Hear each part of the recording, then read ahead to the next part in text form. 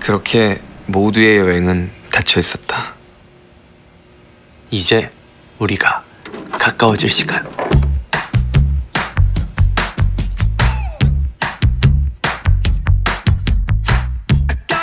어서 와요. 서울에 온 걸 환영해요. 왔어요? 먼저 서울 스타일로 변신 어때요? 같이 걸을까요? 서울의 이야기를 조용히 들어봐요.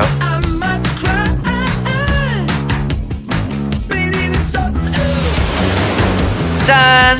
이번엔 짜릿한 서울을 즐길 시간.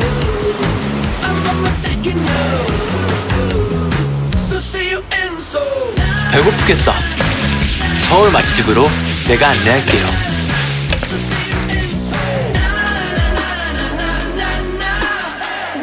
많이 기다렸죠?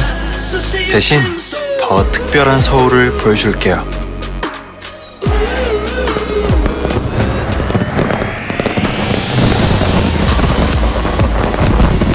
같이 보고 싶다. 우와. 함께 할 거죠? 약속.